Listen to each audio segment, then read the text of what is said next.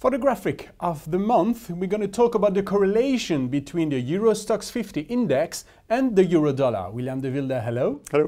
Over the past month, last August, what was the correlation between the Euro Stoxx and the euro versus the dollar? We've seen a decline of the stock market in Europe on the back of the very significant drop in the Chinese stock market. Simultaneously, we have seen a strengthening of the euro against the dollar. Is that normal to see the strengthening of the euro when the stocks are down? It is certainly different from what we have seen historically. This um, scatter plot shows for daily data since 2008 what has been the relationship. To, to put some structure in the, in the data, I've drawn this regression line which shows that there is a positive slope. What this means is that historically when stocks went down, typically the euro also weakened. But on the short term, recently we saw something different then.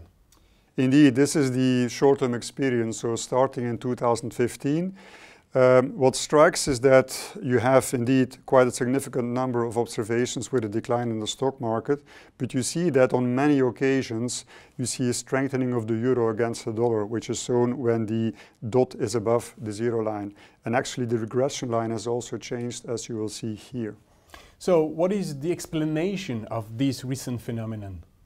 So now indeed the correlation historically has now changed of sign and what this shows is that uh, we are in a world dominated by carry trades.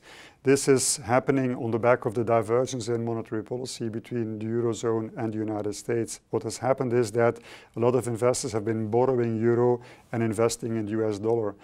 When risk appetite plunges because for instance stocks go down, what happens is that they would also stop playing that carry trade. So they sell the dollar and they uh, buy back the euro. And this is then causing the strengthening of the euro against the background of a weaker stock market. Thank you very much, William de Vijlder. Next, we talk about the tension in emerging markets with François Faure.